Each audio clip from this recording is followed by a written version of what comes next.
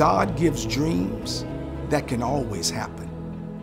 I'm Bishop Rudolph McKissick Jr. I am the lead pastor here at the Bethel Church. Bethel is the oldest existing Baptist church in the state of Florida. So after the Civil War, all of the white slave masters took all the freed slaves to court because they said to the judge, listen, slavery is over. They are no longer our property. We don't want them in our church. And it's ironic the judge saw that by number there were more freed slaves than slave masters.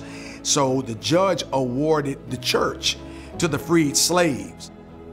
This is a church that has been authorized for vocational training because back then there was nowhere that blacks could really go. Bethel has always been an educational institution. In every era of this church, the bedrock has been something dealing with education which makes our Scholarthon so powerful.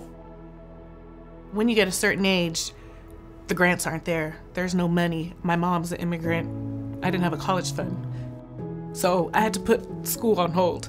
And so I started taking one class at a time, one class at a time, because that's all I could afford. So for this year's Scholarthon, we were able to award 82 persons, undergrad and graduate level, with a $1,200 scholarship. Shamara has overcome a lot in her life. After going through what she's gone through, especially medically, she's had two brain surgeries. A lot of people would have given up after that because that's already a burden. You have to apply. And so this scholarship, when Bethel offered it, it didn't have an age limit. It's a huge boost to like, I can do this, I'm gonna finish, people believe in me. She said, I can do it no matter what and be a testimony to other people. Shamara is going to be a game changer.